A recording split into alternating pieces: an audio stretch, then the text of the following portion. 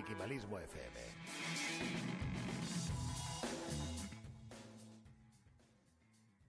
Bienvenidos, bienvenidos ahora sí a Frikimalismo FM. Un aplauso, por favor. Un aplauso. Una- si no aplaude el público, es muy triste que aplaudamos nosotros y no, y no, ¿qué tal? ¿Qué tal a todos? Bienvenidos a Frikimalismo FM, bienvenidos a Iberia Media, nuestros estudios maravillosos. Eh, además, hoy empezamos en punto casi, a las 6 y un minuto. Recordad que podéis seguirnos ahora mismo en directo en YouTube, para toda la gente que está viéndonos ahí en, en toda España, que son cientos y cientos de casi ninguno. Y, y para los que nos veáis después en la repetición, pues también, eh, ¿qué tal? Bienvenidos a todos, muchas gracias por estar ahí. Podéis seguirnos en Frikimalismo FM, en nuestras redes sociales, en Twitter, en Instagram, en Facebook. Y también, cuando terminemos este programa, tendréis el programa entero colgado en YouTube y en iBox también. Así que, oye, estoy muy, muy contento hoy, estoy muy contento hoy porque nos ha costado mucho tenerla aquí porque es una persona, bueno, pues ahora veréis cuando, cuando escuche, cuando os cuente todo lo que hace, pero quiero dar un aplauso muy, muy, muy, muy, muy, muy, fuerte para José Castro. Un aplauso para él. ¡Qué maravilla! ¡Qué barbaridad! Muchas gracias. Vaya camisa. En fin.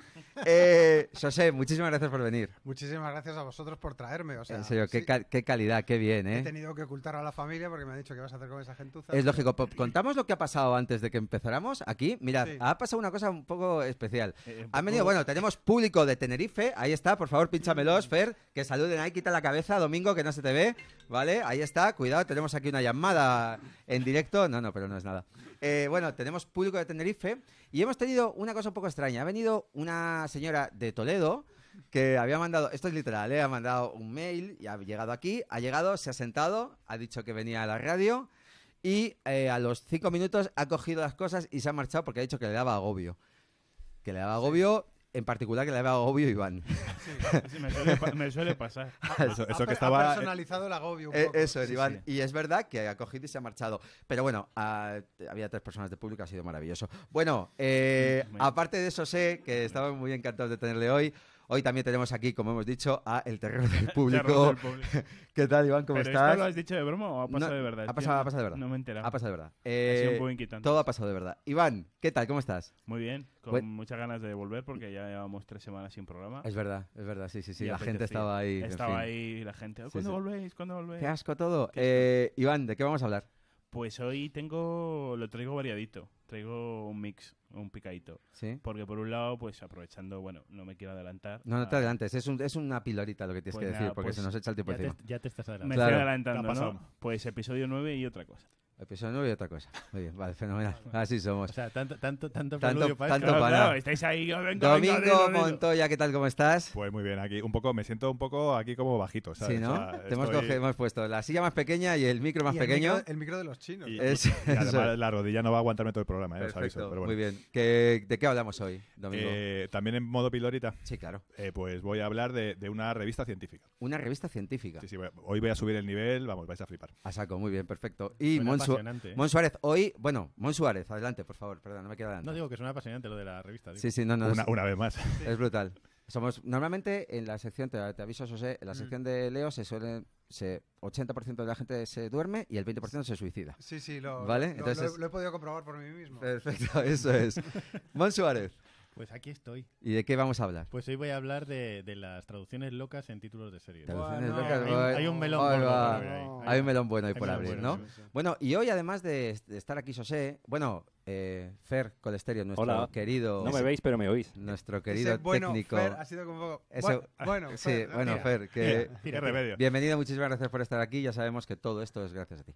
Y, y bueno, hoy estrenamos una sección. Hoy no ha venido Lala, no ha venido tampoco Acevedo, pero hoy estrenamos la sección que llevamos mucho tiempo queriendo estrenar con Carolina Jiménez, arroba OK Infografía, que va a contestar las preguntas de algunos de nuestros seguidores, muy fieles quizá, de- del programa. Pero eso va a ser después. Y ahora empezamos una vez más, Frikimalismo FM.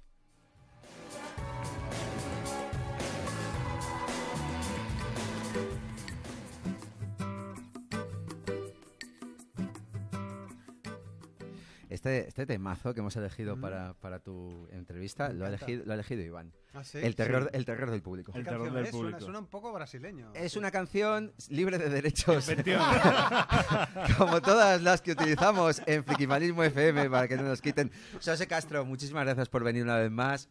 No. Bienvenido a Frikimalismo FM. De verdad, gracias a vosotros. Me he apuntado eh, primero un poquito de tu bio, para que la gente que no la conozca, que yo supongo que será poca gente, eh, para que se haga una idea de que de José Castro, qué es lo que hace, Tengo, ¿vale? que decir, tengo que decir una cosa antes de que empieces. Por y es favor. que parezco en este momento un filtro de Instagram. Sí, ¿sabes? es Ese cierto. que te ponen en el radio, Es cierto.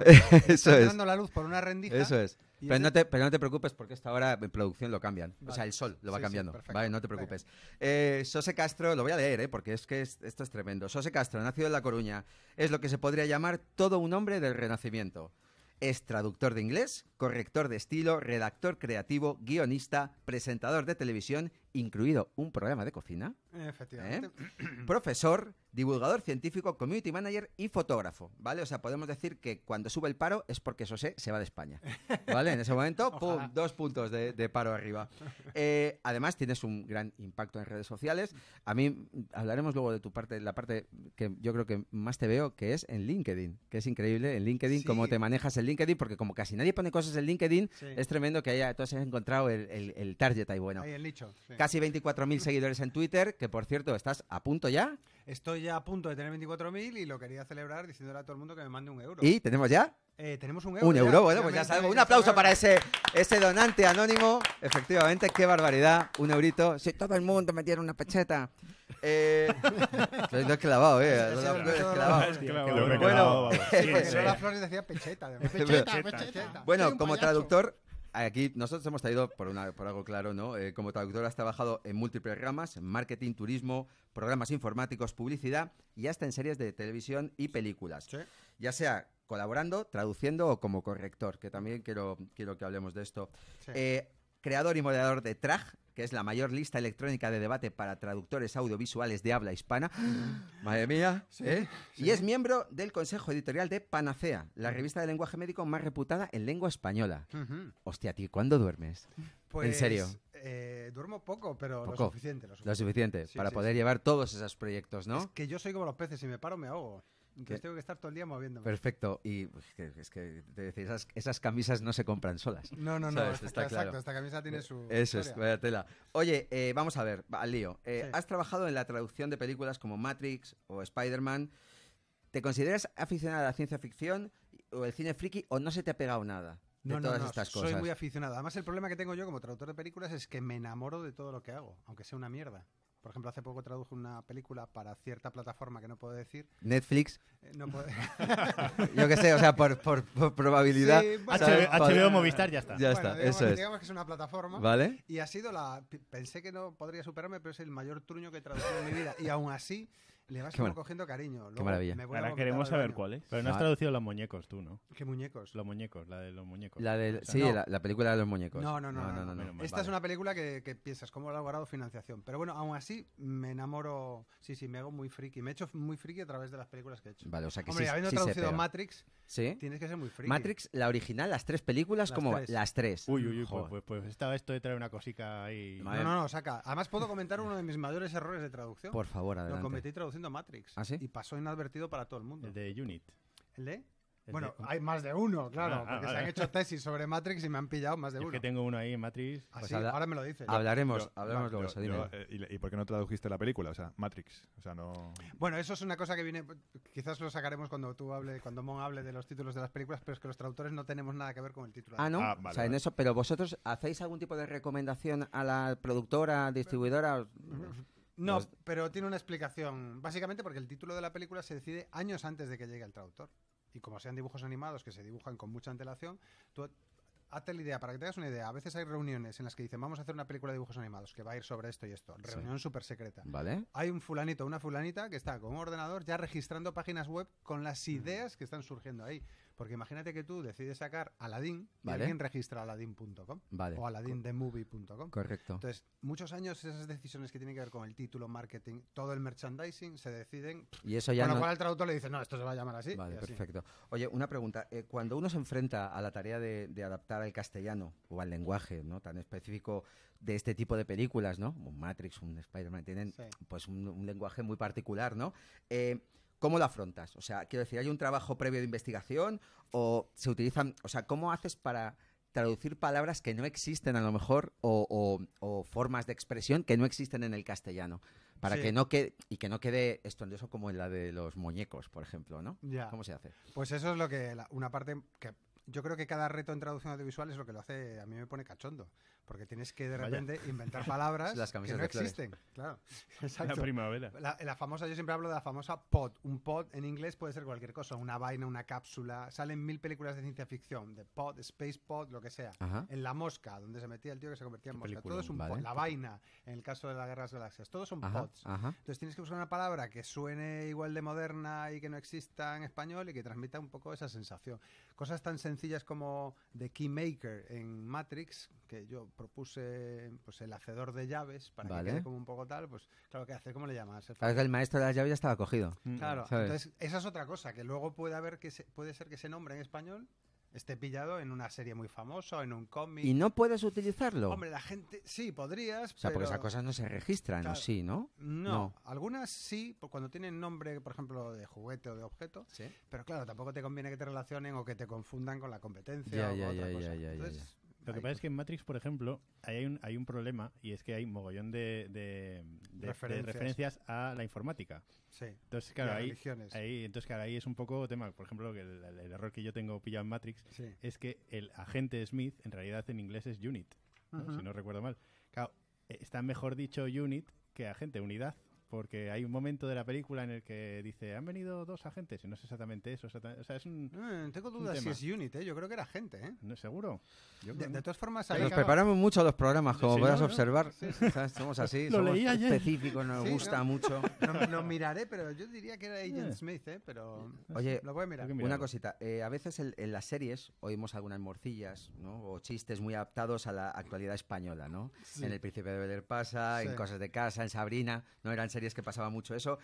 Estas cosas, ¿quién las decide? ¿Directamente el, el, No. el traductor o el...? ¿Cómo se hace eso? Nuestro común...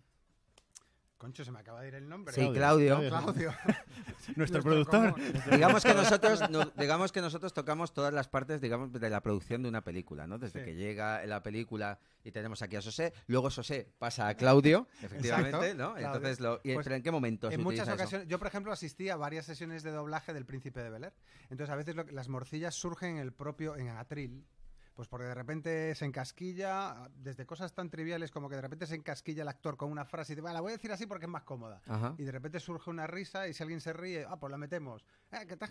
Y meten cosas a veces que el problema que tienes es que si lo adaptas demasiado al humor actual y metes cosas de chiquito, eso es lo que te digo. Bueno, es lo que ha bueno, pasado. ojo, perdona. Bueno, De chiquito- no, que es Cuidado. universal. o sea, chiquito no vale, pero sí es verdad que hay cosas que puedes meter a lo mejor, cosas de, de OT, ¿vale? Que yo he escuchado Sí. cosas de OT que a lo mejor está guay, pero a lo mejor dentro de 10 le hace años. que caduque muy rápido. Hay una, hay una muy buena del Príncipe de Bel Air que la recuerdo muchísimo porque además es que la vi y dije, hostia, es buenísimo porque yo estaba pensando lo mismo. O sea, de repente estaba hablando, creo que era un profesor, y estaba hablando con la voz de, eh, el del, del que doró a Richard Dean Anderson en, en MacGyver. Sí. Entonces de repente está ahí en medio del, del este, se queda así y dice, a que hablo igual que MacGyver. En, me- en medio, en medio del, en medio del capítulo, que es buenísimo. Y dije, hostia, Claro, bueno". claro. Eso seguro que salió en el Es momento. morcillón de- del, del Pero es verdad que eso hace que caduquen, digamos, la... la- Claro, eso hoy en día ya no dan tanto permiso para hacer eso. En los, en los años 90 se- hubo bastante manga ancha con ese tipo de Bueno, cosas. es que ha mencionado Sabrina, en Sabrina es constante, o sea, directamente tomaron la decisión de adaptar así toda la serie Exacto. y de hecho hay recopilados vídeos, eh, tiene una página ahora de Twitter alguien que se dedica a recopilar esos vídeos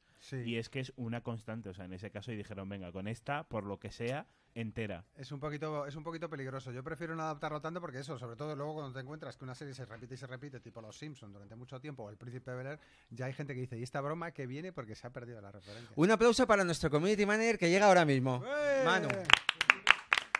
El hombre puntual. Porque el hombre llega cuando, pues cu- ni pronto ni tarde, un mago, no sé qué pollas. Cuando en fin, presenta. es Cuando- igual. Cuando decide Cuando Gandalf. sale la voz. Oye, eh, tienes, que, Nabo. tienes que poner muchos tweets que te, los tienes atrasados. Oye, eh, José, Los mejores titulares ya los hemos dado, además. efectivamente, claro. efectivamente, te, ahora te pasamos los totales.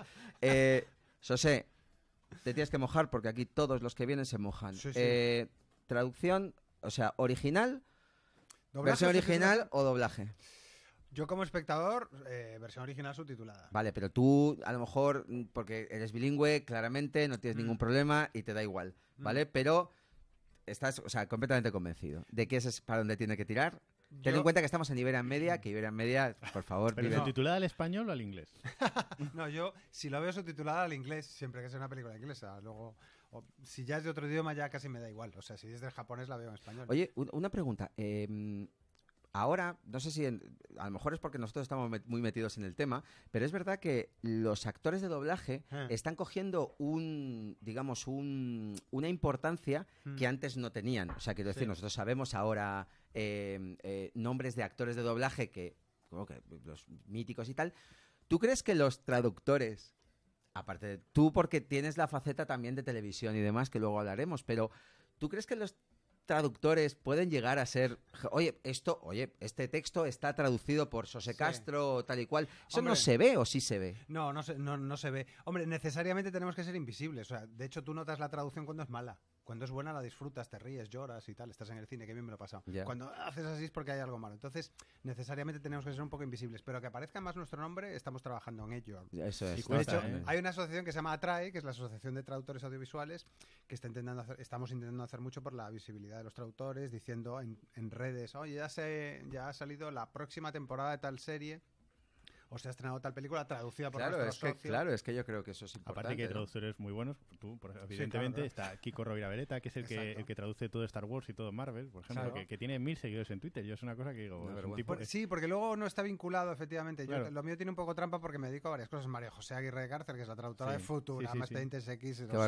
es una pena porque siempre salís que es un curro, eh, ¿eh? al final de los créditos. Yo es que soy de esa gente que se queda al final de los créditos Sí. en cualquier película y salís al final, pero del final, del final, del final y una pena. Eso es de que te quedas tú y la señora hasta que se ha ido de Toledo. Sí, sí. ¿Sabes? Esos son los dos que os quedáis. Un saludo a siempre, ¿no? por, eso, y por eso se ha ido, ¿no? O El juego que te está dando la señora de Toledo. Yo, gusto. yo- yo siempre le digo a mis colegas que también para ser visibles tenemos que ser un poco noticiables y hay que recordarle a la prensa que nosotros, nosotros podemos dar mucho jugo. O sea, Sí. si tú estás haciendo un reportaje sobre los Oscars y tal, un traductor de la película que ganó los Oscars te puede contar unas Hombre, cuantas claro cosas que muy sí. interesantes. Efectivamente. Porque ha Oye, tenido que masticar todo el texto. A veces le han enviado, como me pasó a mí con Black Hawk Derribado. ¿vale? Fue una película. Que se estrenó justo, que se iba a estrenar justo después de los atentados de las Torres Gemelas, nadie lo previó, obviamente, y entonces hubo cambios en el texto. Y eso fue muy interesante.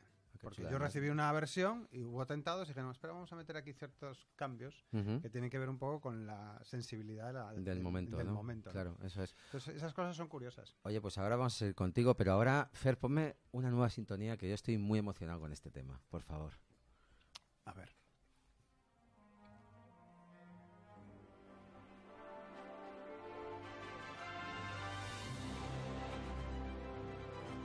Esta, parece una de una de, parece una de una película de superhéroes, pero también es sin Sí. sin o sea, de, de las que nos Buscáis gustan. de lo mejor entre lo de sin Nosotros, derechos, ¿no? entre Sin Derechos, solo lo mejor para la nueva sección de Carolina Jiménez en Frikimalismo FM. Eh, recordad, podéis mandaros nuestra- vuestras preguntas a, en, en las redes sociales. En nos en nos vídeo. citáis en vídeo. Nos citáis o citáis a arroba ok infografía y entonces mandáis un vídeo con vuestra pregunta y Carolina Jiménez la responderá en este programa. Hoy estrenamos la sección con dos rostros muy conocidos, ¿vale? Así que vamos con el- la primera pregunta y la primera respuesta de Carolina Jiménez. Veamos. Hola Carolina, soy Jandro. Lo primero, estoy muy contento de que formes parte de Frikimalismo FM porque por fin en ese programa habrá alguien que sabe de cine. Así que por fin Dios ha oído mis plegarias. Luego darte la enhorabuena por el Twitter, creo que es uno de los mejores que hay. Vale la pena entrar en Twitter solo por, por ver y leer tus hilos. Así que todo el mundo suscribiros a OK Infografía porque es maravilloso, te cuenta cosas de cine que no sabías. Pero a lo que vamos. La pregunta es la siguiente. ¿Cuál es la escena de todas las que has hecho que ha sido la más difícil? Ojo, no la mejor ni la que ha quedado súper bien. No, no, no. La más difícil, la que cuando te dijeron hay que hacer esto y tal, dijiste, esto es imposible. La que había un momento que decías, esto no va a salir. qué escena fue. Y si puedes ponernos un pequeño vídeo de cómo quedó al final y cómo la hicisteis, pues ya sería. Así que, besos. Me he venido a dar un paseíto aquí en Vancouver a la playa, todavía con frío invernal, pero bueno, aprovechando que estoy aquí tranquilita en, la playa de aquí del barrio, pues te quiero contestar a tu pregunta, que es muy buena pregunta. El efecto visual más complicado al que me he tenido que enfrentar, pues así en general, en cuanto a proyecto, yo creo que uno de los más complejos o que más miedo me dieron cuando me tuve que enfrentar a ellos fue en Happy Feet 2. Primero porque era todavía alguna de mis primeras películas, con lo cual eh, asustaba un poco aún el, el- el enfrentarse al reto nuevo. Y segundo porque nuestra principal labor en el, en el departamento de Final Layout, que es en el que yo trabajaba en, en Happy Feet 2, eh, se encargaba de generar todas las huellas que los pingüinos dejaban en la nieve.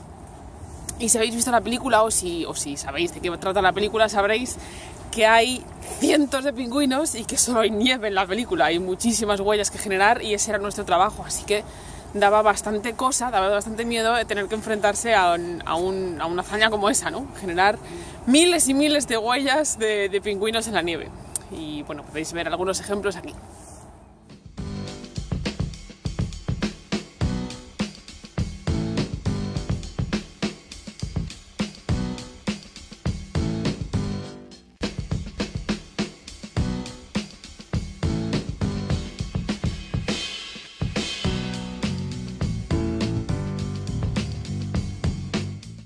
Generaron todos, todas esas huellas en Houdini, en el programa Houdini, y así como proyecto general grande, yo creo que fue el que más, más susto me dio al comenzar.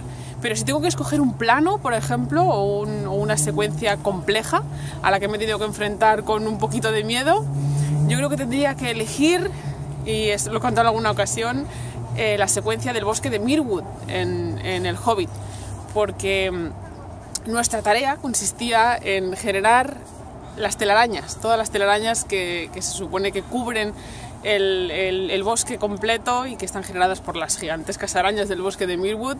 Y fue, fue un reto porque no teníamos plugin específico de generar eh, telarañas, que, que no existía como tal, y tuvimos que eh, crearlo de cero. Entonces los, los, em, los coders, los programadores del, departamento de Pipeline iban generando una herramienta que sirviera para, fabricar esas telarañas digitalmente. Entonces nosotros, los artistas, teníamos que, ir probando esa nueva herramienta, ese nuevo plugin que iba a generar todas esas telarañas, que al principio no funcionaba para nada y que poco a poco, trabajando mano a mano con los, con los programadores, conseguimos finalmente hacerlo, hacerlo funcionar de una manera realista. Pero, pero costó, costó y fuimos eh, dos compañeros más y yo, fuimos tres, tres artistas los que nos encargamos de hacer todas las telarañas de la secuencia del bosque de Mirwood y fue, fue un reto por eso, fue un reto porque no teníamos la herramienta necesaria para generar todas esas telarañas y hubo que crearla de cero poco a poco y como muchas veces pasa con estas cosas, una vez que teníamos la herramienta perfectamente generada y funcionando bien, ya habíamos terminado de, de generar todas las que necesitábamos. Estuvimos casi dos meses sin parar eh, generando telarañas eso fue, fue un reto. Podéis ver algunas, eh, de algunos de los ejemplos de la secuencia aquí.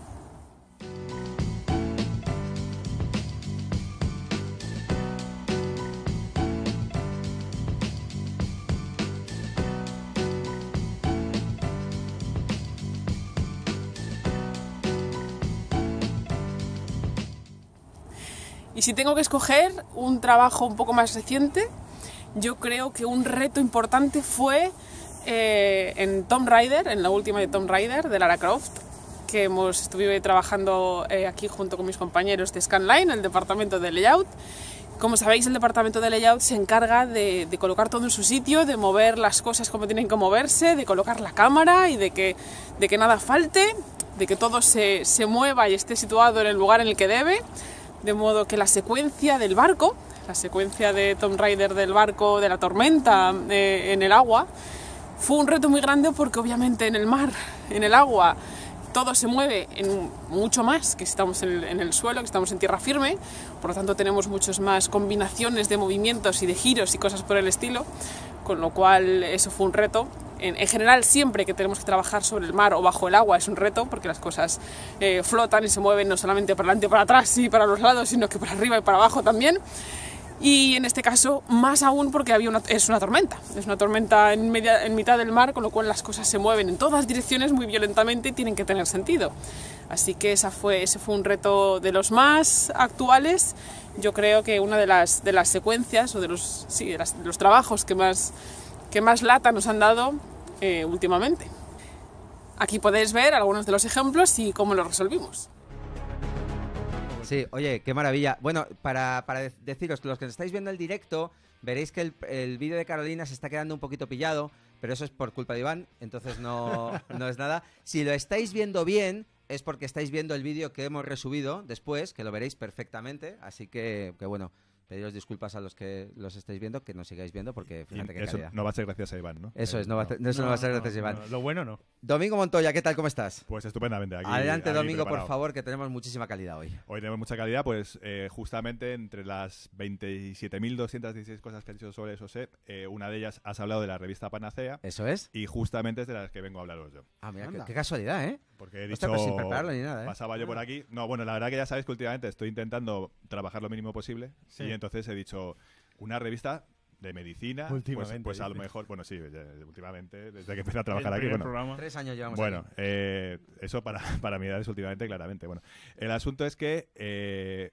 me he puesto a buscar, digo, a ver si encuentro aquí algo que pueda meter en frikimalismo. Yo pensaba que iba a tener que estar muchas, leerme un montón de números, pero ha sido leerme el último, el número 47. eh, y he encontrado dos artículos estupendos que, vamos, eh, son, son muy comentables y, vamos, os he traído unas perlitas de ellos porque quiero que los leáis vosotros y, y Adelante, no sabemos leer, vale. Bueno, entonces eh, va- vamos a empezar. eh, quizá esto que os voy a contar eh, es un tema que a lo mejor os, os suena un poquito. Vamos a ver. Vamos a ver si. si... Si nos suena es que Domingo es muy de meter como muchos efectos Ah, y tal. sí. Yo aquí para- Ah, magnífico. atrapado You, baby.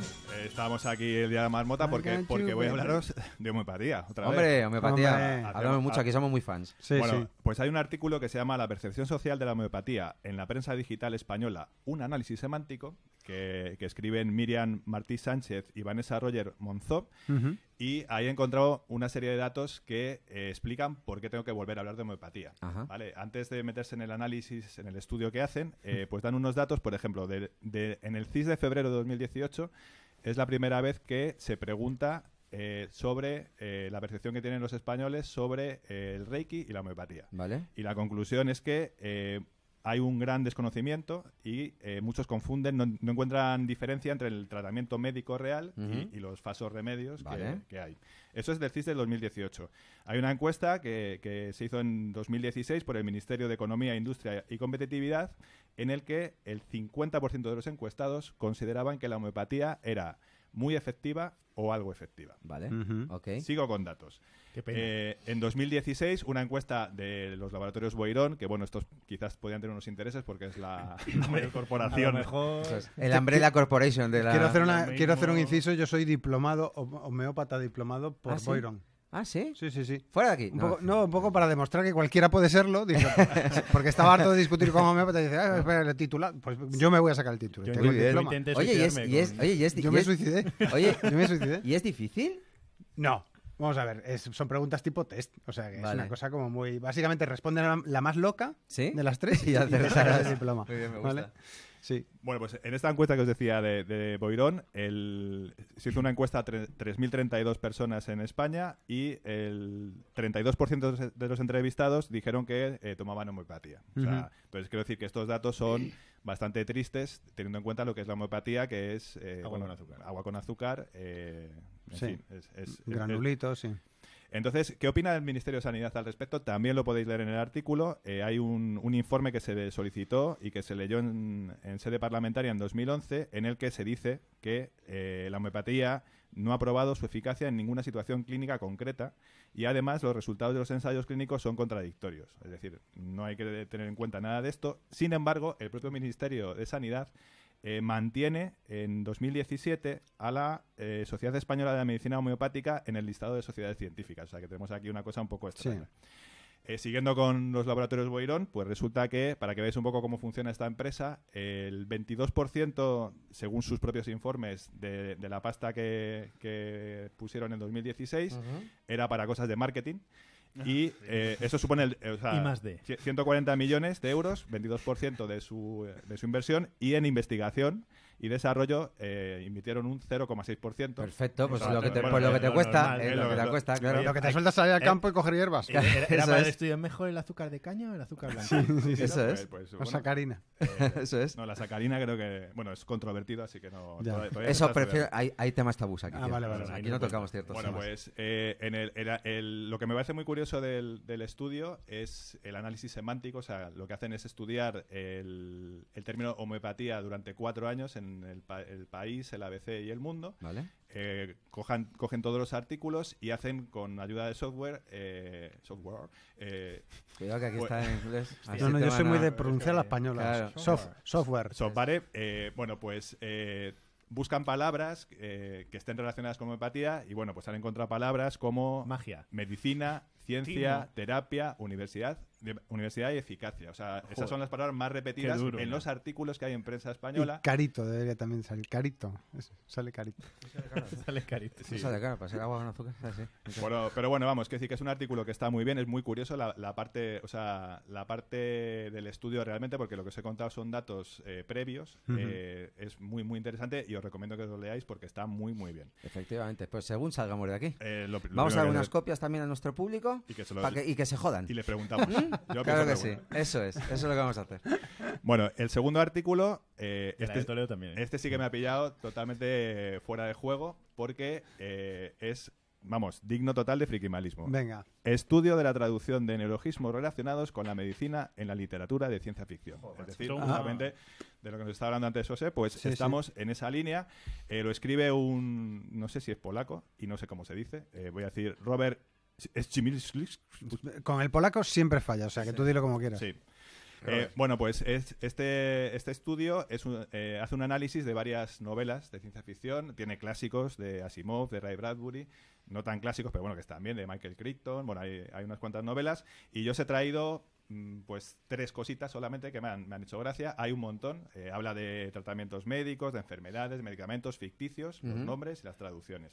Qué bueno. Entonces, de medicamentos os he traído dos. Uno se llama el calocín, que es en la amenaza de Andrómeda. Vale. Es, es una película donde unas Sí. esporas extraterrestres Sí, sí, eh, llegan aquí. Pues el tema es que el calocín se lo inventan y eh, en el análisis, en la parte más técnica del, del- del artículo, pues explica que está muy bien traducida. A mí hay uno que me hace mucha gracia, que es la espaciolina, que yo cuando le dije espaciolina, pero eh, parece ser que en cuanto, desde el punto de vista de la traducción, es perfecto. Es, esto es, un término que sale en un relato de Isaac Asimov. Eh, estoy en Puerto Marte sin Gilda. eh, es el, El relato. relato. Y eh, es que, me, más es que- es que me- atasco, me atasco. Sí, es lógico. Sí. Es que claro, es, es que me acuerdo de, de Gilda y, y se me va. Bueno, pues el tema es que... eh, yo de gila. No, Sí, sí. sí, nos pasa a todos. el, el tema es que en este, en este relato eh, eh, cuenta que los viajes espaciales producen, produ- producen ciertos efectos y la espaciolina sirve para mitigarlos, pero es la biodramina, joder, del Claro, espacio. claro. Claro. Pero, pero si se adultera, se puede convertir en una droga peligrosa y Qué bueno. Como la biodramina. Como las que le gustan, Sí. eso sí. Bueno, Ah, y, Exacto. y el, el término que más me ha flipado es de un relato de Ray Bradbury, de, de su libro El visitante. Bueno, el libro, no, el relato es El visitante, el libro es El hombre ilustrado. Eh, y os voy a decir el término en inglés porque mola un montón. Es eh, blood rust, Vale. o sea, sangre y óxido. ¿Vale? Y eh, es, una, es una enfermedad que, se sube- que sufre gente que está en Marte, exiliada. Eh, y el- la traducción me parece una maravilla. Es herrumbre de sangre. Ostras. Oye, pues me Herrumbre. gusta. Siempre en mi equipo. Herrumbre. Herrumbre de ¿Qué sangre. tienes, Me herrumbre? gusta. Qué bueno. A mí me gusta el... ca- ¿Cómo era el cazolín? El calo- eh, bueno, sí, el- calocín, calocín, al calocín. Porque me imagino a la típica madre, ¿no? Riñendo al hijo, que no me voy a tomar ni al calocín ni al calozón. que esas gusta- rimas que hacen las madres. A mí me gusta, pues, calzón. pues si tienes frío, pues te pones al calocín. Claro. Uh. Bueno. Una, una más, Domingo. Bueno, pues, pues, pues os voy a poner la musiquita de la tabla periódica. ¡Hombre!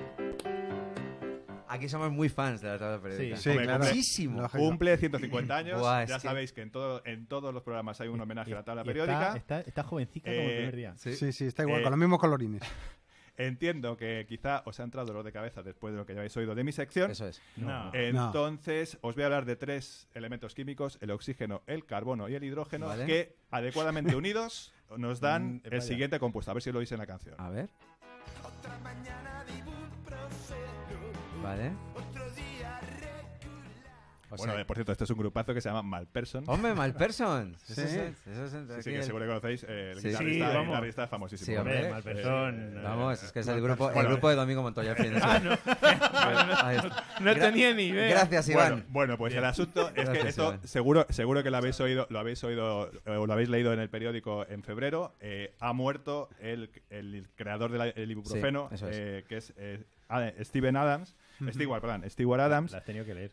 Sí, lo tengo que leer porque, porque además mirad cómo lo, he- lo he escrito. Admas. O sea, eh. Almax es otra cosa. pero bueno, el tema es que eh, hay un pequeño bulo, ya recordando un poco lo que el programa anterior, pues Sí. eh, se ha contado que este señor eh, hizo el ibuprofeno para quitarse la resaca ¿Sí?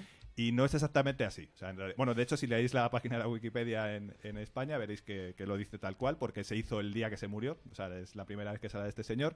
Pero la realidad es que eh, el tío hizo esto para, para mitigar dolores y tal, y antes de que se pusiera a la venta, lo probó un día que iba a dar una conferencia y que tenía un poco de resaca, Sí. eh, dijo, oye, Oye, pues qué coño. esto- Qué bueno. esto- Pues qué esto- coño. Esto puede servir. Entonces, para mí, eh. Se voy me a- ha quitado la bajona. Voy, voy a leerlo otra vez para no equivocarme. Stewart Adams, eh, para mí, es un héroe legendario de apócrifo. Y con esto, con esto yo creo que. Qué Perfecto, bueno. pues un aplauso para Steve, un aplauso para Domingo Montoya. Qué bueno. Bravo. Yo me acuerdo mucho de Stuart siempre que voy a, a bucear, porque yo nunca salgo sin el traje de ibuprofeno. Bueno, pues Uy, y hasta aquí Frikimalismo FM. No, eh, vamos Pero- con... Pero, pero hoy no había. ¿Qué? No hay Ay, apócrifo. no hay, no hay apócrifo. A ver, yo, Ah, yo es que los apócrifos eh, se, se me, se me atascan. se Entonces, atascan, ya, ya hemos, lo, lo hemos quitado ya los Ah, apócrifos. vale. Vamos con un poquito de música, pero de la buena, ¿eh? De la buena. De la inquietante también un poco. Vamos a dejar la esta música que se va a venir ahora de la- nuestro público de Toledo. La sintonía inquietante, Episodio 9. la La sintonía, señora de la Toledo. sintonía toledana de Iván Delgado. ¿Qué ese es el tal? título, muy bien. ¿Cómo estás, Iván? Muy bien, Muy bien. muy bien. Así que vamos a empezar. Por Sí. favor, cuando quieras. Vale, pues voy a empezar. eh, hoy traigo, como he dicho al principio, dos cosas. Y voy a empezar por la rabiosa actualidad, que es el episodio 9. Eh, Si sí, le gusta utilizar mucho esa palabra. esta es la, Rabiosa. sí, Rabiosa me rabiosa. gusta mucho. Esta es la parte en la que Domingo se va. No, tranquilo, porque, bueno, spoilers le- modera- Pero de aquí a diciembre se te va a olvidar. Spoiler Adelante, Iván. ¿Vale? Porque, bueno, estas últimas Eso, eso semanas es verdad. ha habido mucho revuelo en Twitter porque estaba todo el mundo esperando que se anunciase el título, a ver si se anuncia el título. Bueno, recordad que el episodio 9 se estrena el 20 de diciembre de este año. Y bueno, como ahora en abril es la Star Wars Celebration, que es la convención en la que se anuncia todo, pues está todo el mundo pensando, esperando que se, que se anuncie el título. Pero bueno, yo creo que. mm, Tendremos tráiler, entiendo, y eh, demás, se ¿no? anunciará el tráiler y el título porque yo creo que el título no se va a anunciar hasta la, hasta la Celebration. Vale. Todo esto viene porque hace el día 15, creo que fue, sí, el día 15, eh, JJ Abrams, el director y guionista de la película, subió a su Twitter, el tío solo ha subido tres fotos, y subió esta última foto, De su pene. ¿no? eh, a ver si la Ah, ¿no? podemos ver, esta que es... eh, Ay, qué, uy, qué cosa más buena, por Dios. Anunciando que se acabó... que La un escena, de, la El escena trío- de, el la trío escena de swingers, la escena de swingers en el espacio. Anu- Eso es. que anu- claro, co- como, no hay gravedad, es, un, Es como un es como- girar. Es como un sándwich de nata invertido. Sí. Joder. Pues bueno, cuando subió esta foto anunciando el, un sándwich de nata invertido, me voy a apuntar eso. Con esta foto JJ anunciaba el final del rodaje, que la- habitualmente es verdad que el final del rodaje suele ir acompañado del anuncio del título, lo que pasa que esta vez, pues como JJ es el señor, JJ es el señor Misterios, pues ha decidido no, no decir el título. Además se dice que es el único que lo sabe a día de hoy. Y bueno, con esta foto ha habido mucha especulación sobre el episodio 9. Bueno, se veía a los protagonistas con el... A mí me gusta decir vestuario, ahora la gente dice outfit, pero a mí lo de outfit me suena muy raro. Outfit es, que de, es outfit es de un poco de ofetada. Es ¿eh? un poco de Outfit- ofetada. El vestuario de los tres protagonistas y eh, se veía un desierto en la fotografía, sí, mejor. Porque, Adelante, vaya. sigamos, porque es que si no, luego tengo que cortaros. y Claro, me, da mucha, claro. me da mucha pena. ¿sabes? Y en la fotografía... pena. Una- pena. Una mucha pena. pena, de verdad. En la foto se podía No me ver- hagas quitarme las gafas, Iván. Se podía ver.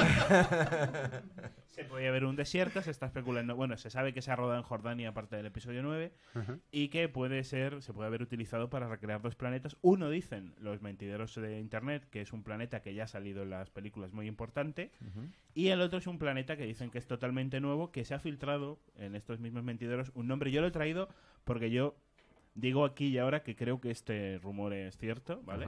Y que ese planeta nuevo se va a llamar, tengo el nombre por aquí. Sería guay que encontrase el nombre en una primera, aquí está.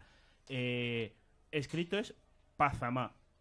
O Pazama. O p- en inglés Mazapán. Pesaima, ¿no? Entonces, Vale. se ha rumoreado, porque ya te digo, han salido muchos muchos rumores estas últimas Pazama. semanas. Además ha pasado una Suena cosa un muy poco Pachamama. Sí, Pachamama un poco. Ha pasado una cosa curiosa que es que la semana pasada, los que estéis en Twitter, cada día se anunciaba Disney está preparando una serie ambientada en tal personaje o protagonizada por tal. Y Sí, han salido como cuatro o cinco. Bueno, Sí. decir que de momento eso no. Hasta, se que no, lo, hasta que no lo diga Iván, Pasama. en este programa no os Nada. creáis nada, Nada. ¿sabes? Me voy a quedar con Pachamá, me gusta Eso mucho. es. Parece de hecho una población de Tenerife. Es como el O sea, sastre. Weimar, Pachamá. Pues quedaros con ese nombre No, porque yo creo, yo creo que. Pero vamos, hasta la semana del 11 al 15 de abril, que es la Star Wars Celebration en Chicago, que aquí hablaremos de ella cuando llegue. De episodio 9 todos son rumores. Se está hablando de personajes que vuelven. Bueno, sabéis que se anunció que Matt Smith, el actor que hace de Doctor en Doctor Who, va a salir. Se habla que va a ser uno de esos caballeros de Ren, que son los que Sí. lidera Kylo Ren, que Kylo Ren va a volver a llevar casco. Bueno, hay muchos rumores, ¿no? Ahora mismo todos son rumores. Lo que pasa que noticias, noticias. Sí que se sabe que se va a recuperar metraje de episodio 7 para las escenas de la princesa Leia. De Ajá. hecho, eso ya se ha confirmado, que va a ser escenas, toda una trama que tenía el episodio 7 que JJ cortó y que se van a usar.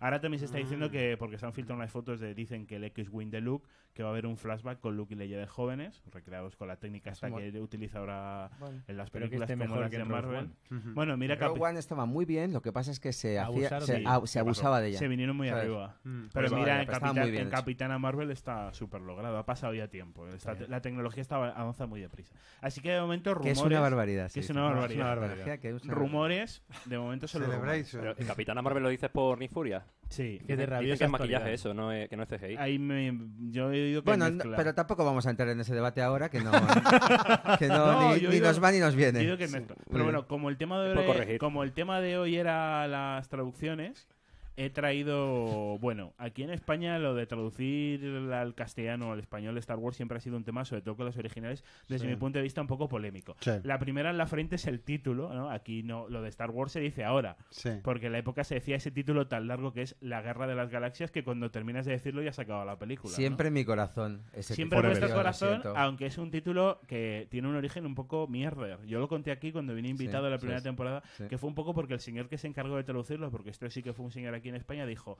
es que eso de estrellas suena a estrellas de cine, la gente se va a pensar que es otra cosa, pues galaxias, que es como muy de ciencia ficción. Y se quedó con eso de la guerra de las galaxias, que bueno, que es- ya te digo, cuando acabas de decirlo se acabó la película. Ya, a mí personalmente no me gusta. Hombre, vamos a ver, a mí, a mí personalmente la Guerra de las Galaxias me gusta más que, que Guerras Estelares, pero es verdad Sí. que a lo mejor es porque lo llevamos escuchando Claro, toda la vida claro, y entonces ya... Al final claro, está el claro. factor ese nostalgia que tenéis. Lo- Luego hay una cosa muy que curiosa tenemos. con las originales y es que no estaban no estaba acreditados los traductores. Entonces yo entrevisté a Kiko Rovira, que es el que el que tradujo al que traduce a Star Wars desde el episodio 1 y nos comentó que, que no se sabe quién las tradujo, o sea, es como Pues hay una yo tengo creo que la noticia por ahí ya te la buscaré, yo creo que sí, porque yo rebusqué sobre el tema y el origen es ese. es- eh, De hecho, el origen se cuenta en un extracto de una entrevista a la persona que se encargó.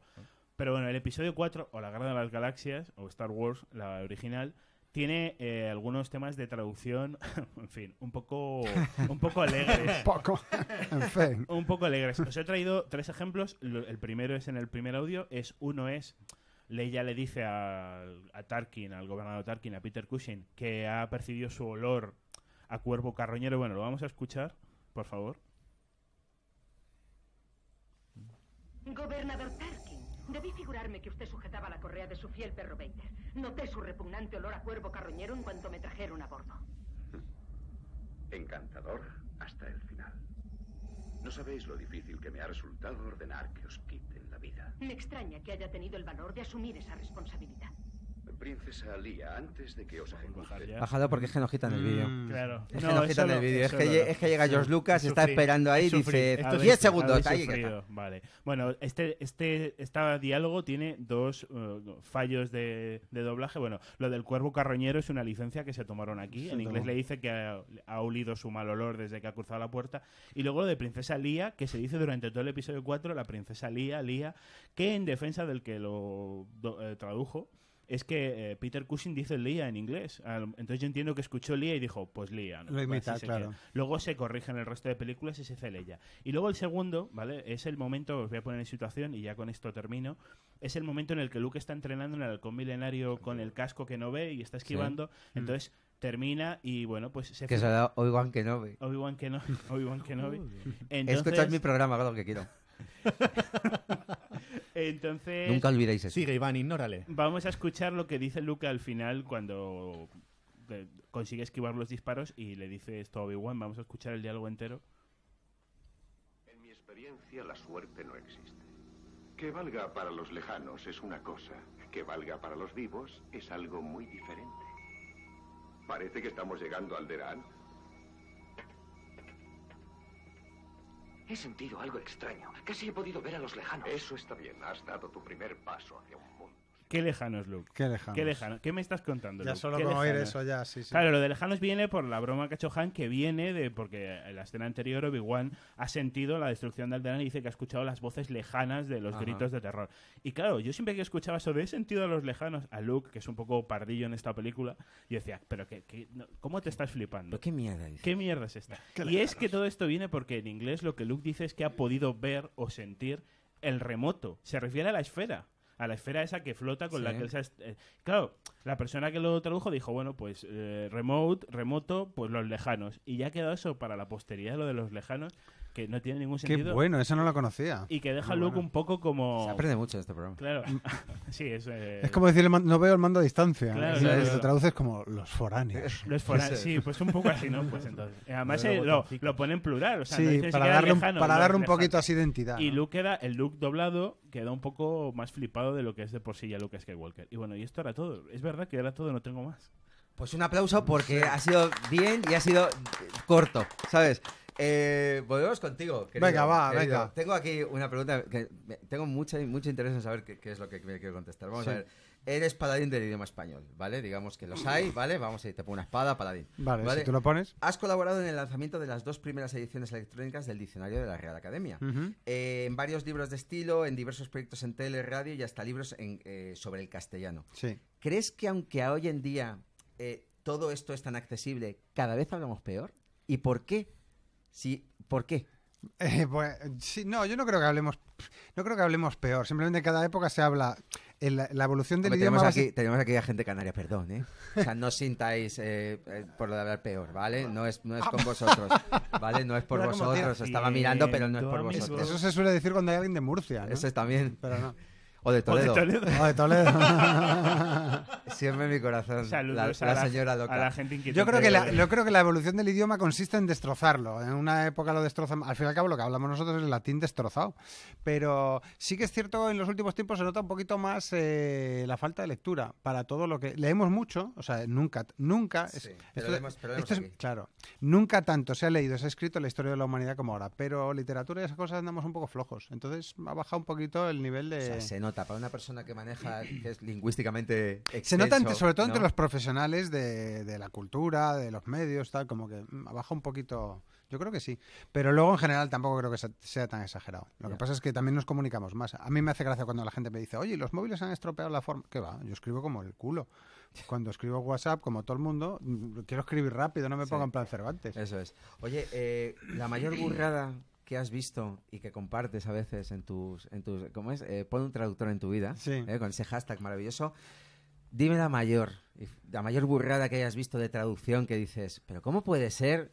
O sea, por una, por, por que sea, o sea, que hasta a ti te haya sorprendido, porque entiendo que ves muchas cosas de estas al, al día, pero que digas, qué barbaridad. No me pones en un brete porque, Sí. porque Es que si hay significa 200 brete, buscar. brete, atención, ¿eh? Buscar. Brete. En los Estados, Unidos las, en, en Estados Unidos las hacen magníficas porque las traducen. Por ejemplo, los, eh, los violadores eran perseguidos. eh, yo lo he visto muchas veces en Estados Unidos.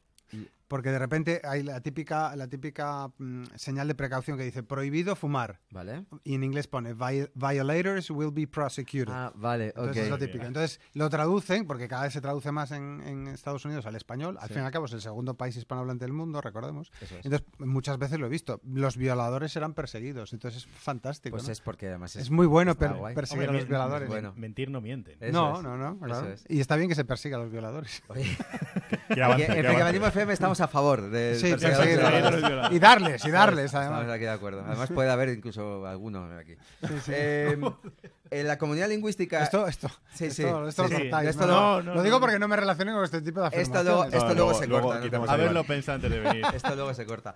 Eh, oye, en la comunidad lingüística hispanohablante hay mucho debate sobre qué, de- qué doblaje es mejor. ¿Vale? sí, sí. Ojo, porque aquí eh, estamos el castellano, Hmm, el lenguaje latino, sí. que nos gusta, que es el que entiende nuestro público además, eh, o el español neutro, Eh. escuchado. ¿Esto qué, ¿Esto qué es? Cuéntanos, ¿por qué se Bueno, usa el español neutro? Bueno, en el, en el mundo del doblaje, Además de Iván. en el mundo del doblaje hay dos mundos, España y el resto. ¿Vale? Está el latino, en lo que llamamos el latino. y No voy a sentar más aquí. ¿Has De hecho, no voy a venir más al programa. Escucha, no juegues con mis sentimientos, que me emociono, luego No, vienes no, y, no. y vengo abajo. Sí, sí, que Va a eso, dijo Moni, mira dónde está. Es curioso porque aprovechando que tenemos público de Canarias, cuando se busca un español neutro desde un punto de vista fonético, siempre se elige el canario. ¿Ah, porque sí? es, claro, el canario al fin y al cabo es el, el padre del. de- o sea, en, en América hablan así por los canarios. Mucha gente se cree que es al revés, que los canarios hablan como los latinoamericanos, ¿no? El español fue de aquí para allá. Por eso en. Venezuela y en Caribe, no, con colonos canarios. Claro. Entonces, la, es, digamos que es como el más neutro porque lo identificamos como propio y no tan ajeno para todo el, todo el mundo. Pero yo siempre defino el español neutro como el que nos disgusta a todos por igual. Lo que pasa... Es una- Esto está bien. Un abrazo a los canarios. Pero la, no, en general, eso que llamamos español neutro, utilizando palabras así que nadie, nadie usa. Pero bueno, lo curioso es que hay una guerra, muy- sobre todo en el grupo este que gestiono yo en Facebook, hay esa cosa de que los latinoamericanos, cuando oyen el doblaje español, les pega patadas en los oídos. Sí, y a ¿no? nosotros también, en cierto modo, no- no- porque no Hombre, estamos Me acostumbrados. comimos mucho de las películas de Disney Claro. antiguas que veíamos en latino. Claro. Yo la, la sirenita no me la puedo imaginar de, De otra, otra manera, manera, ¿no? claro. Porque O sea, era cuando, cuando la emiten con el doblaje en castellano, a mí, a mí me reparte. Es que a mí me parece una locura. A mí, en, fi- a eso, mí en ¿eh? dibujos animados me encantaba el latino, era, me parece muy, muy sonoro y muy cantarín. Pero me hace gracia cuando en estos debates la gente se pone a hablar de es mejor o es peor. Ya. Siempre que se habla de lengua y se habla de mejor y peor, yo saco palomitas. Ya, ¿sabes? sí, Es ¿no? como, Eso es. ¿Dónde se habla mejor? ¿En Valladolid? Sí, sí, hombre, claro. ya, Es una cuestión de En gusto. Toledo, quizá. En Toledo. No, eh. Toledo, ni de coña. Es una cuestión de gustos. Sí, claro, claro. O sea, na- nadie puede, absolutamente nadie sobre la faz de la Tierra puede decir dónde se habla mejor español, porque habrá gente que lo hable, otra que no. Oye, y cambiando un poco de tercio, Sí. eh, tú tienes una gran carrera en televisión y te voy a poner en un, en un- en un muy comprometido. No puedes, no puedes. Sí, sí, sí, sí. Eh, ¿Cuál es tu experiencia favorita en un programa de tele? Mi experiencia Sí, favorita. que digas, que lo recuerdas, que, que no estés ahora, ¿vale? Que recuerdes como con más cariño, ¿vale? Es jorobado, sí, un poquito. es- bueno, venga, te voy a dar, te voy a dar me- dos. Me, vas a dar dos Venga, pistas. te, no, te, no, te doy Do- dos. a dos elegir. Dos, dos para que digas dos. En Ah, esta dos. y en esta, para que no, en fin. Venga, pues sí, una sin lugar a dudas más reciente, la de Likes. Qué bonito programa, amigos. Qué bonito programa. Que aquí este hombre estuvo de, de- bueno, magnífico productor. El programa iba adelante como, Sí. un- como una máquina con un engranaje que Eso giraba es. gracias a... Gracias a mí, está claro. Lo decían, por eso nos quitaron enseguida. Sí, Eh, Likes, eh, Likes, eh, bueno, tú lo sabes, se formó un equipo maravilloso que yo creo, o sea, el buen recuerdo de los programas es por el equipo humano, o sea, la gente, cuando hay buen rollo. Y el otro es Palabra por Palabra en Televisión Española, que es un programa en el que estuve eh, copresentando con Francine Galvez, la negra. Sí, con la negra, sí. Eh, que el problema de trabajar con una negra es que tú siempre parece que tienes pancreatitis. Esto es un total. Eh, Sí. eh, Manu, o sea, Claro. tal cual. O sea, Porque esto siempre- es un corte para poner directamente en Twitter. Sí, sí, sí. O sea, a mí me tenía que dar doble de colacao en la cara porque ella siempre estaba divina, ¿sabes? Porque ¿sabes? Es, es fenomenal. Siempre tienes el tonito. Por eso los culturistas se broncean, porque quedaba mucho mejor en cámara. Yo a su lado parecía que había dormido mal, ¿sabes? Entonces era terrible. Oye, tele o radio. Oh, eh, diría que radio. Radio. La radio tiene. La primera vez que trabajé en radio, que fue en un programa de Radio Nacional, hace años, que se llamaba El ombligo de la luna, me dijeron, ya verás, esto te, te va a enganchar. Y me decía, eh. Y, me- y es fascinante. Sí, ¿verdad? Es fascinante la sensación de, que tienes de meterte en la intimidad, porque la radio no se escucha de la misma manera que se ve la tele. Eso es. No es tan pública. Eso es. Y era maravilloso en un programa de noche como el que estoy ahora también en, en Radio Nacional. Eso es. Recuerdo las llamadas de gente, por ejemplo, recuerdo dos llamadas muy rápidas. Desde la cama, mucha gente, a día de hoy hay gente que nos confiesa. El otro día un tío por la calle en Bilbao me dice, te odio. Digo, ¿qué? Dice, ¿tú eres José Castro? ¿no? Dice, sí. Dice, mi mujer se escucha tu sección y es que no pego ojo. Claro, Decía, eso porque es. la está con cascos y se ríe y entonces no puedo dormir. y la otra fue, recuerdo una llamada a las 2 de la mañana en aquel programa que llamaba un tipo, el capitán de un pesquero a Joder, 200 qué kilómetros de la costa de Cabo Verde, bueno. que nos estaba oyendo por radio exterior de España. Y dices. "Esto es maravilloso, ¿sabes? Se me lo imagino en medio del mar, de noche, Qué barbaridad. llamando a... Bueno, tú, Entonces- Cabo- tú Cabo, Verde, Cabo Verde, nosotros Toledo. En fin, Bueno, bueno, igual. nosotros, a Bueno, quién a sabe, nosotros ¿eh? nos escucha mucha gente desde el otro lado del charco, porque nos lo dicen mucho. Eso por- es, tenemos mucho público latino para nuestro público hispanohablante, amigos. Amigos, Un saludo para todos. hermanos latinoamericanos. ¿Qué aforismo del otro- al otro lado del charco? Sí, bueno, es igual. Bueno, y a- vamos a ir contigo ahora en un ratito, pero ahora vamos a meternos en otro charco Sí. con... Oh, qué bien. ¡Ostras! Qué bien traído, tío. ¡Qué barbaridad! Vaya- Con Fer Colesterio, por favor, adelante. Tu Maravilloso. sección maravillosa. Y aquí ha, aquí ha metido al- en el momento su música, qué cabrón. Como es su sección. Adelante, Fer. A ver, eh, me has hecho un desprecio grandísimo antes de la introducción. ¿Se, te, ha- se te ha olvidado que Sí, tenía sí. yo sección o qué? ¿Qué? ¿Cómo, cómo, perdona? No No, me has dicho que yo tenía sección, no me me has preguntado preguntado. siquiera. Ah, no te, No, pero, no, si, no. pero si estás en la escaleta. Sí, sí, sí, pero vamos, que esa no es forma de tratar a un veterano condecorado, ¿eh? Ah, eso, eso es verdad. Eso es verdad. Adelante. Bueno, antes que nada quiero saludar desde a mi jefe, que me dijo que no había huevo saludarlo en directo. Así que, hola, hola Daniel. Somos, ahora somos, estamos en un programa de los 90. Ahora de repente. Muy bien. Mira, como- y, y como soy el técnico, me poner también el nombre aunque no salga. Adelante. Eh, pues nada, eh, como bien ha dicho José antes, el trabajo de, mm, de traducción y de localización es bastante invisible. Claro, cuando va- todo va bien, nadie se acuerda de ti. Pero la gracia está cuando algo falla, sobre todo en los videojuegos. Entonces he traído pequeños ejemplos como el mítico Final Fantasy VII y su Aye Boy, que vemos aquí en la foto. A ver. Muy bien. Voy, me encanta. Allí voy. Aye Me Boy, sí. encanta. Ostras. Me encanta. Eh, y luego había otros pequeños errores de traducción, como por ejemplo, su fiesta le espera en el piso 2. Cuando, aquí fiesta es una traducción de party. Oh, your que, party. Claro. Qué bueno. que son los, co- los compañeros, el equipo Claro. que, que está esperándole para reunirse arriba. Claro, en inglés your party es tus la gente con la que Bueno, va. a saber lo que pasaba en el episodio 2, ¿no? O sea, podía haber... Y hay, es. hay otro momentazo en el Final Fantasy que es la. Yo creo que aquí Rajoy metió la mano. ¿Puedo, decir una- ¿Puedo hacer un inciso ahora que dice lo de party? La Por primera vez que favor. fue a Estados Unidos y fui a un restaurante, el camarero, vino el camarero para sentarnos y dice, party of two. Y yo le dije, ¡Woo! me miró con cara, ¿este es imbécil? Dije, "Sí". Español. Claro, Eso ahí es. viene el español. ¿no? Pero me hace mucha gracia la expresión party para referirse a grupo de personas. Vale, adelante. Tampo- tampoco es tan gracioso, ¿eh? Venga, vamos allá. Tampoco necesario Bueno, cortar. está- Sí, a lo mejor un... ¿Sabes? Pero un poco Sí, más, pero ¿no? no, no, no, me viene arriba, me viene arriba.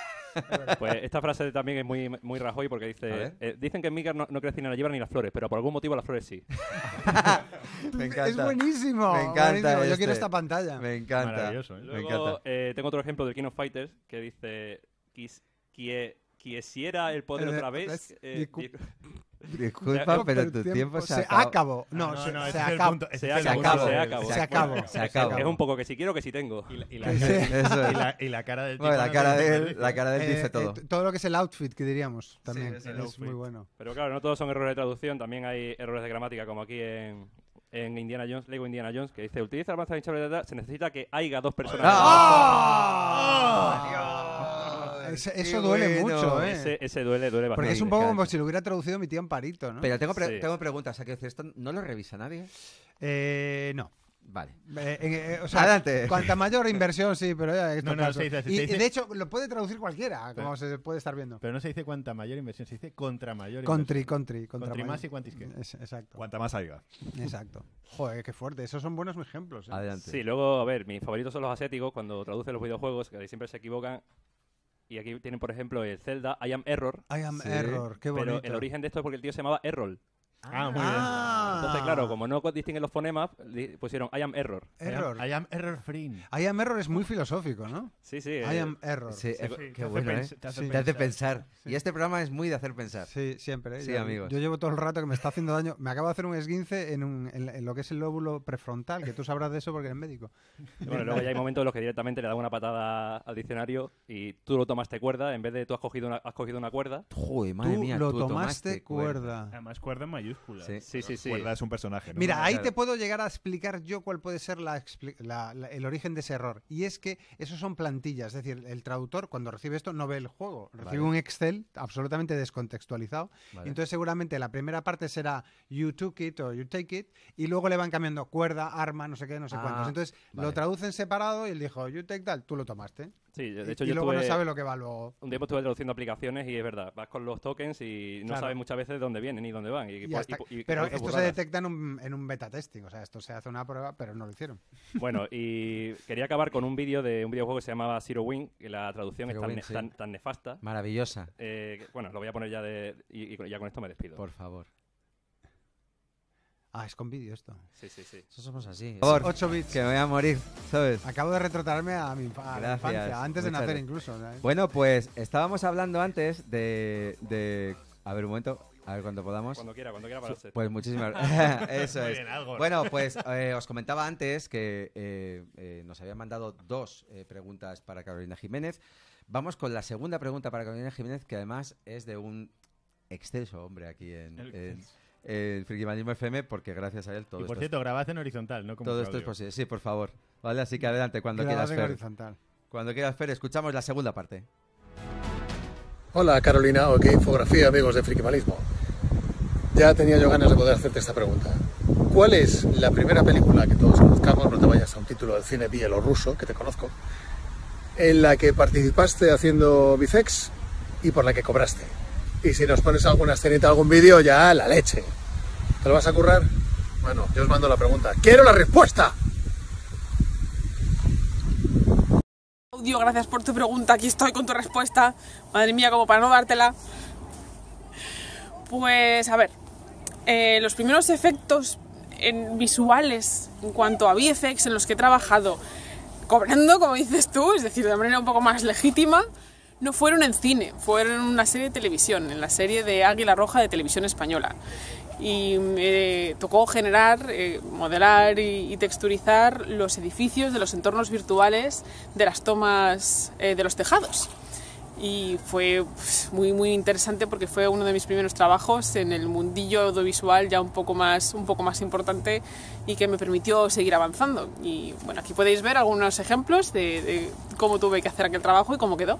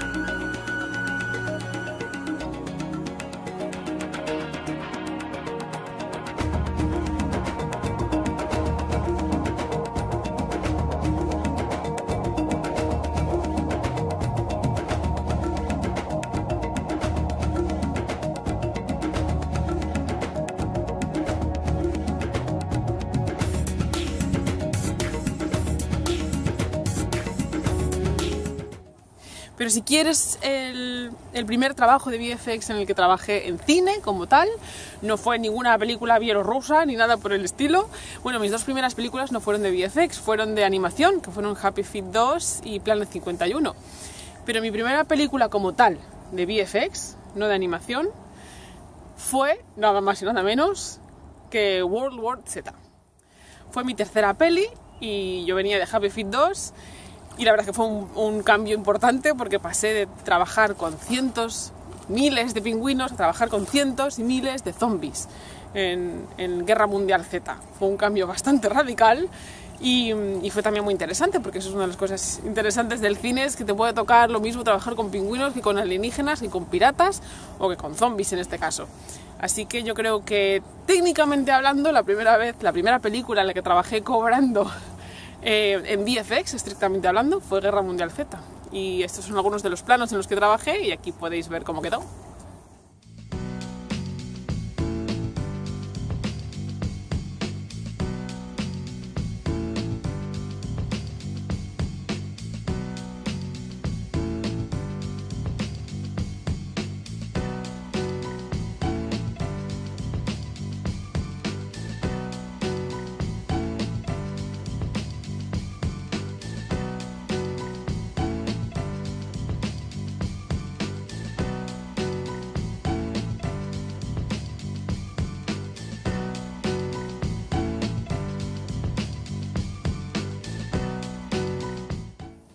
Mil gracias por vuestras preguntas. Seguid mandándome todas las preguntas que queráis sobre no ya mi trabajo en concreto, sino sobre en general VFX o cine, lo que queráis, que si yo puedo os intentaré responder. Así que locos de Frikimalismo FM, seguid así y nos seguimos viendo por aquí. A nosotros nos gusta Música. la musiquita. Carolina, ambiental. muchísimas gracias. Oye, Soy te vamos a dar un aplauso muy grande, Carolina. ¡Bravo! Muchísimas gracias.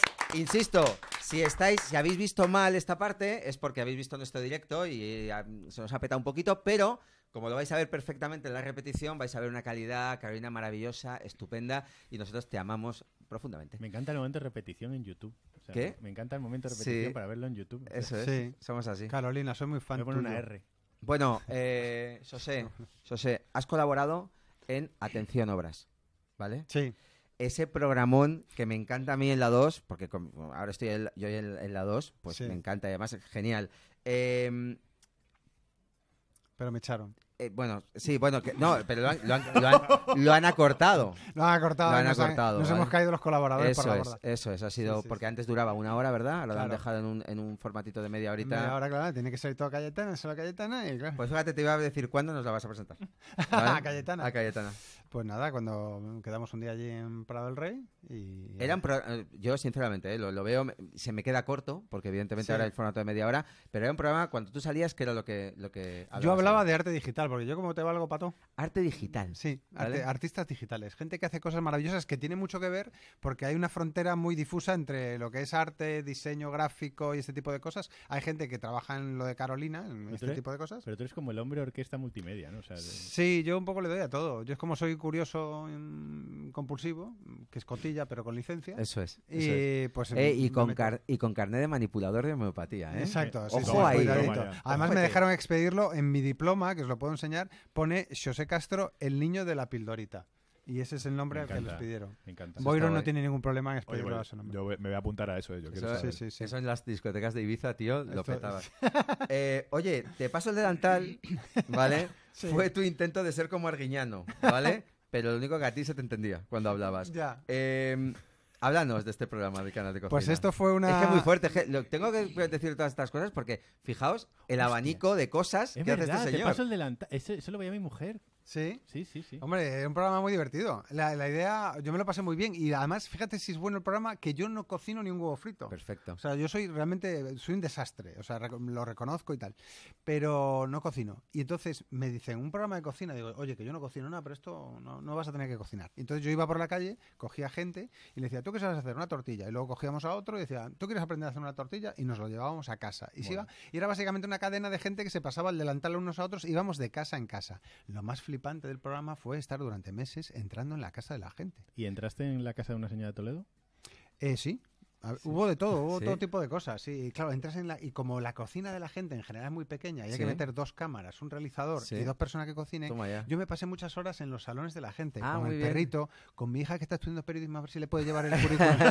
Tú que trabajas en los medios, mira, mira, que mi hija que es muy buena, que está acabando ahora y tal, y enseñándome los álbum de, el álbum de fotos, la abuela con un poquito de demencia sentada en el sofá. Qué maravilla. Por favor, señora, no grite que están grabando. Fue muy divertido. Qué maravilla. Oye, em, todo esto que hemos contado es cantidad de cosas que haces, pero además tienes complejo de Peter Parker porque Mm. también eres fotógrafo. Sí, efectivamente. ¿Qué, qué vas a decir de Peter Pan? Que también lo tengo. También soy, eso es. soy infan- tengo infantilismo y soy fotógrafo. ¿Cómo sale eso? ¿De dónde? ¿De también de...? Pues de es que uno de mis objetivos en la vida es, y lo he logrado, eh, Dormir una hora. No, convertir mis aficiones en fuentes de ingreso. Muy bien, Entonces, perfecto. salvo con el sexo, lo he logrado con todo. ¿vale?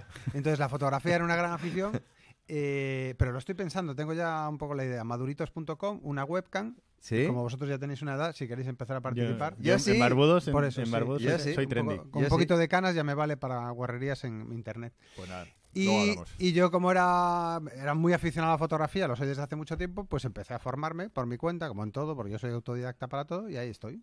Y tengo la suerte de haber trabajado en proyectos de fotografía muy chulos. Oye, y... Concretamente, os lo voy a decir, por porque esto favor, da no, mucha no, no, rabia, adelante, por favor. sacando, haciendo reportajes fotográficos con eh, mi ahora amiga Sandra Blasco, para una página web que se llama orden45.com, a estrellas Michelin. Entonces, yo me pasé un par de años pegándome unos Regular- sí, sí, regular, unos- ¿no? Unos homenajes que no tienen nombre, o sea, lo que no está escrito. Claro, porque fotografiabas y luego no le vas a dejar Claro, ahí, claro, vas al seller de feo, Roca, pues te quedas las cinco horas a comer Normal, el menú. normal. Es un feo. Qué faena, ¿no? feo, sí, sí, Así sí. que Un sí. sacrificio, Un sacrificio total, que Oye, porque luego hay que revelarlas. O, prueba- o O algo lo que así, sea. o lo que Oye, sea. eh, para la gente que nos está escuchando, eh, aquellos oyentes jóvenes Sí. o un poco más mayores, que... Sí, porque quiera- yo soy muy mayor, Sí, ¿eh? yo también. creo que soy de lo más mayor que hay en un, un kilómetro a la redonda, ¿eh? Pues sí, pues la señora de Toledo se ha ido ya. Eh, la... O eso esperamos. la- o eso- vamos, está abajo. afuera ahí esperando. Está, bueno. Eh, gritad más alto que no se oye.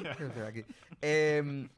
Eh, ¿Algún consejo para aquellos oyentes que quieran meterse en el maravilloso, maravilloso mundo que tanto nos gusta del community manager? Del Porque hombre, también eres community manager, community- ¿vale? Sí, sí, sí, community manager es muy bonito. Es muy bonito, seguro. Bueno, no, vamos a ver. yo No, hay- di la verdad, si estás Vamos- hablando con otro, o sea, Vamos a ver, adelante. te diré una cosa. a mano ahí también, Yo- que yo soy- está encantado, mírale, está medio llorando por dentro. Es que yo tengo que decir una cosa, yo soy un dinosaurio, entonces, o sea, dinosaurio, dinosaurio, o sea, yo tengo correo electrónico desde el año 90. Vale, ¿vale? joder. O sea, estamos hablando de... Arrakis.com. Y antes, y antes de que se- yo vi cómo se fundó Arrakis, ¿vale?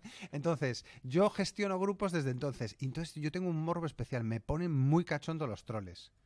Entonces, Sí. si no te ponen muy cachondo los troles, community manager es una Ya, mala profesión, sí, ¿vale? regular, sí. Y sobre todo las crisis, las crisis de, ¡ah! de, repente que te montan una huelga a tus usuarios, ¿no? Vale. O has dicho algo que se puede considerar eh, in- que es una infamia para alguien. Eso es. Pero me gusta por esa parte, me da un poco de morbo gestionar gente y tal, y, y se me da bastante bien, creo. Llevas, en llevas muchos años crisis. gestionando esto, ¿no? Sí, me ha hecho, lo hago un poco como autónomo Vale. para distintas campañas. No tengo cuentas fijas, sino que Vale. más bien, por ejemplo, lo he hecho para concursos, para campañas de publicidad durante una temporada y cosas así. Y, pero sí, me divierte un poco el trabajo de fondo que no se ve, curiosamente.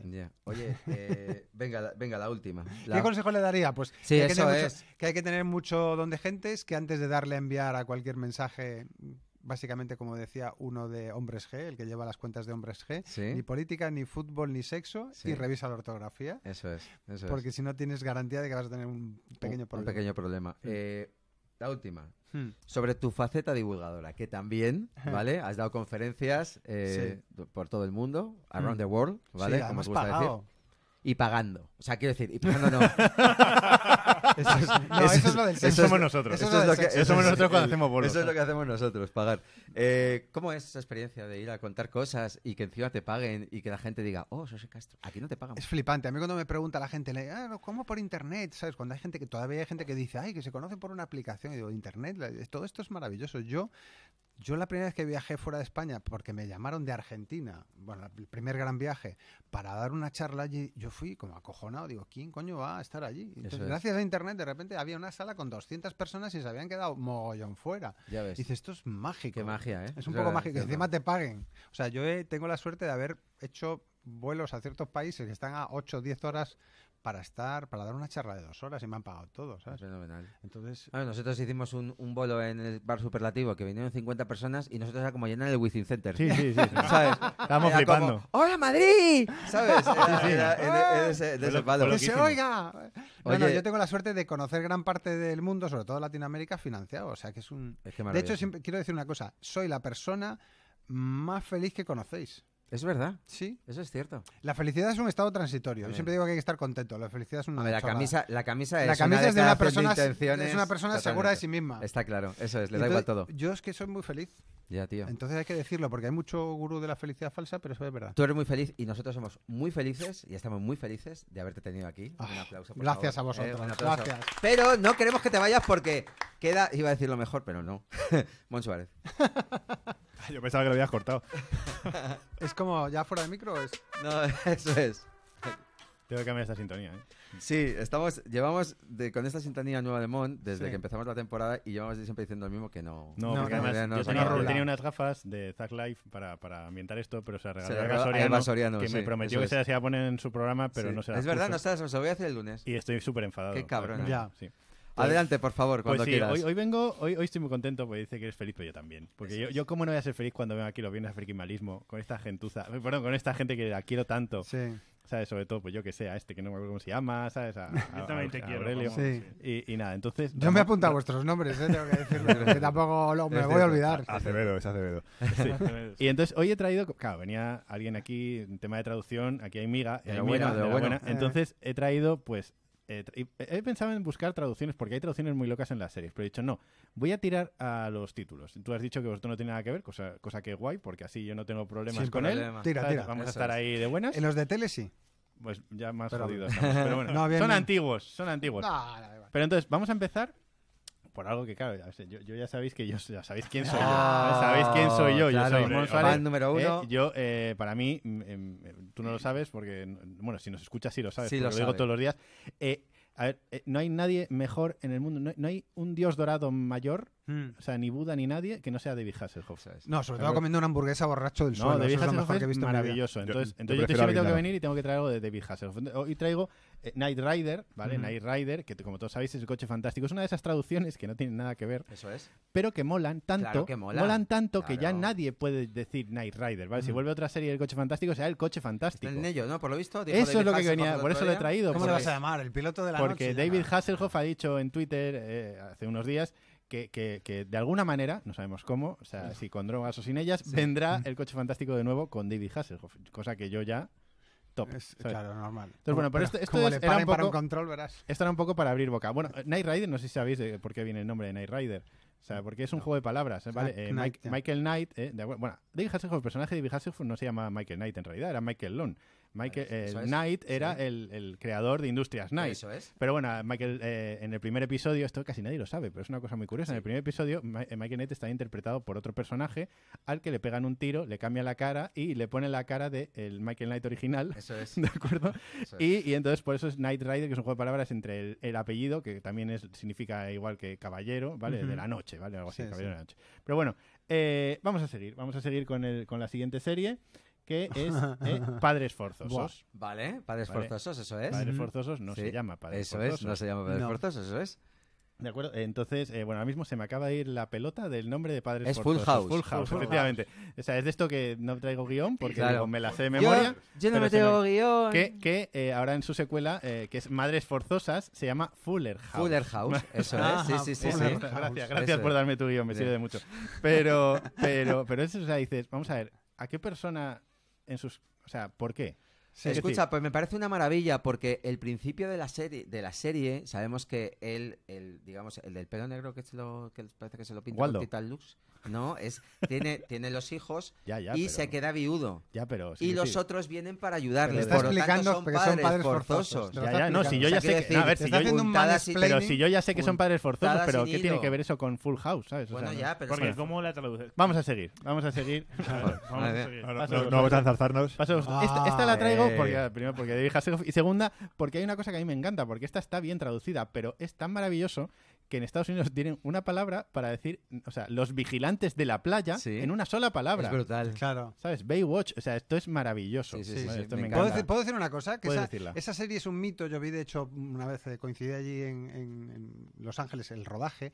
El- las escenas de agua están muy falseadas. El agua de, de esa zona de Santa Mónica es mucho más fría que la de las Islas Cíes. ¿Ah, o sea, sí? tú, tú- tú te, tú te metes ahí y se te suben los testículos a la zona de los A pulmones. lo mejor por eso... Es horroroso, horroroso. Vete a, tú a saber si lo de Pamela Anderson eran testículos. Por eso Claro, claro. No, no, Claro. no, Es un agua, nadie se baña. De hecho, todo el mundo está en la playa y Sí. toda la gente que sale en la serie bañándose son gente que la han A tenido lo que mejor por eso Sí. tenía que meter tanta tripa de. Eso- ¡Ay, qué Tenía frío! un poquito de cobertura. Qué sí, sí. cosita, sí. Y, y bueno, vamos a seguir porque, claro, hay que abrir un Ah. melón. Hay que abrir un melón. Sí. Hay que abrir un melón. La exoftalmia, ese gran problema. Eh, eh, eh, a ver, empezamos, empezamos con el problema que yo no sé qué pasó en los años 90 eh, con el Cosas de, ¿vale? ¿Vale? Eh, empezamos correcto. con Family Matters, ¿vale? Que era eh, con Steve Vale, que acaba de sí. salir, eh, con Cosas de casa. Bueno, vale, Sí. está bastante bien, ¿no? Sí, la sí, sí, traducción, sí. Vale, ¿no? continuemos, Bien. ¿vale? Continuemos porque Vale. llega Third, Third Sí, Rock esta- from the sí, Sun, esta ¿vale? peor. Eh, que es la tercera roca desde el sol. Sí, sí, sí. Vale, más o menos, no sé si Sí, sí, dicho. sí, Eh, eh, a ver, esto, esto yo creo que yo, es cosas de marcianos. Cosas de yo creo que esto lo cambiaron porque dijeron, no van a pillarlo, ¿sabes? O sea, tercera Claro. roca, Mercurio, Venus, Tierra. Ah, Sí, eso es es, la sí, sí. tercera. No, no lo van a pillar. Totalmente. Entonces dijeron los de, los de Antena 3, porque esto todo lo hizo Antena 3, es una cosa muy curiosa. Es cosas de casa y ahora vamos a Cosas de cosas de marcianos. marcianos. Vale, bien, bien. Vale, pero continuemos, porque aún hay más, ¿vale? Está, está esta serie, no sé si os Ah, acordáis de ella. sí, sí, sí. Sister, Sister. Sister. Sister, sí. Eh, que, eh, cosas de hermanas. Cosas de hermanas, Cosas sí. de hermanas. Que luego hay otra muy curiosa, porque hay otra serie que, que era de las gemelas Olsen, no la pongo todavía, no, no tengo la foto de esta, Sí. que no recuerdo cómo se llama en inglés, pero la llamaron cosas de gemelas, ¿vale? Porque Sí. la hermana ya estaba pillado. Ya. Todas de Ah. Antena 3, ¿eh? Os Vale, o sea, vale. Y ya, y ya vamos, o sea, ya, y ya para terminar El el, melón, el melón de cosas de casa, que es Sabrina. Porque claro, Claro. nadie se acuerda que Sabrina de Teenage Witch Eso es. era Sabrina Cosas de Brujas. Eso es, cosas de brujas. Claro, ¿Eh? claro. Sí. Entonces, ¿por qué? Pues como se ¿Por puso qué, de moda señor con- de Antena 3? Pues yo, yo te uniría a ese melón lo de A lo loco. Se puso de moda. Hubo una canción en los años 50 que se llamaba A lo loco, Sí. ¿vale? Que la cantaba eh, Celia Cruz en- Correcto. en, el, en el Sí, corto de sí, Guillermo sí, Fesser. sí, sí, sí, sí, Bueno, eso se es. puso de moda y hubo un montón de películas de cine que era a lo espía a, a lo loco. Con faldas y a lo falda- loco. A partir de con faldas y a lo loco, no, a lo loco, espía a lo loco, no sé qué como loco. O sea que se puso de Sí, moda. esto es Y como puedas, Antena como 3 puedas también. Como puedas. Bueno, pero eso es intocable, eso es intocable. ¿eh? Sí, Es sí.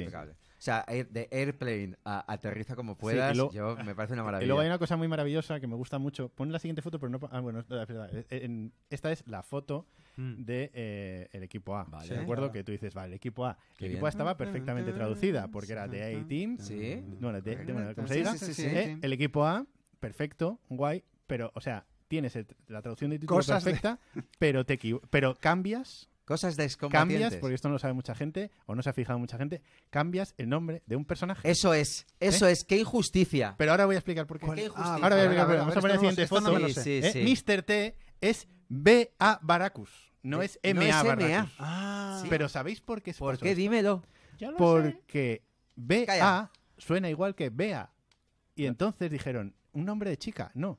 De hecho, yo tengo, Y yo todo tengo- esto me lo acabo de inventar. No, en serio, no tengo ni idea. No, pero, pero pero tengo- sí yo tiene tengo la, tengo la respuesta. ¿eh? Claro, yo- sí. ¿Sí? yo, me, yo me lo he inventado. Tenéis eh. que tocar primero el No, pulsador. me ha gustado. BA es Bad Attitude Barracus Claro. y se tradujo como mala actitud. MA. MA. Mola mucho más mi ¡Wow! explicación. Mola No, mucho más me mi gusta más la tuya.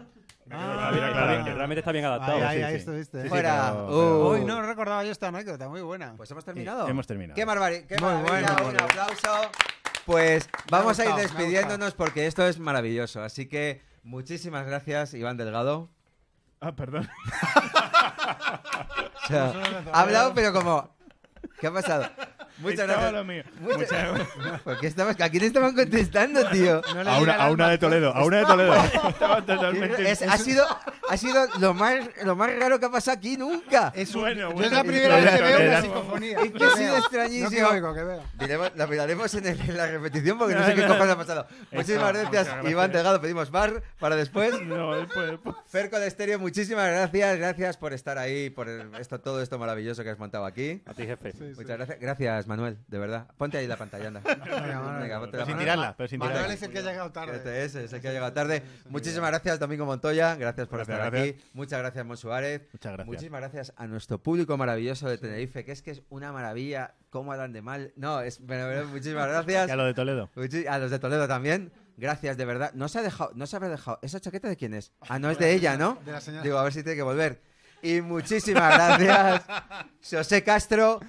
Un aplauso muy fuerte para él, por favor. Muchas gracias. Muchas favor. gracias, muchas gracias. De verdad, ha sido Iba a intentar hacer otra psicofonía, pero muchas gracias. Muchísimas gracias por tenerte. Muchísimas gracias a Iberia Media por dejarnos estos maravillosos estudios. Y nos vemos. La semana que viene yo creo que no, porque tenemos que descansar. Pero la siguiente seguro que nos vemos aquí en Frikimalismo FM. ¡Adiós, amigos! Adiós.